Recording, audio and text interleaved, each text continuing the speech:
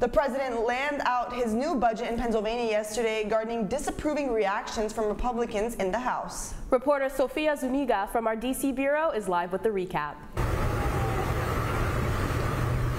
Yesterday, President Biden released his budget for the 2024 fiscal year, totaling up to $6.8 trillion. Now it's moving on to Congress, where it's expected to be dead on arrival because of the Republican majority in the House. Biden wants to tax billionaires at least 25%, increase corporate tax rates, and quadruple tax on stock buybacks.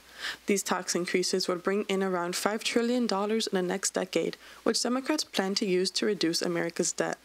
While Republicans will not agree with these plans, they may agree with his $842 billion allocation for the Defense Department.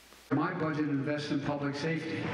It includes funding for more training, more support for law enforcement at a time when they're expected to pay, play many roles. I don't want to defund them. They need more help. We don't expect a cop to be a, everything from a psychologist to a counselor. The budget was presented in the Philadelphia Union Hall with the intention of targeting middle class Americans.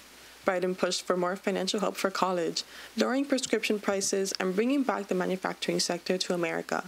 Biden said his budget aims to lift the burden on hardworking Americans, allegedly opposed to Republicans' plans. The fact is that the Speaker of the House has been he's a very conservative guy, and he has even more conservative group with him. We'll sit down and go line by line and we'll go through it and see what we can agree on and what we disagree on, and then fight it out in the Congress. Republicans were extremely vocal about their disagreement with the proposed budget, with Speaker Kevin McCarthy calling it completely unserious.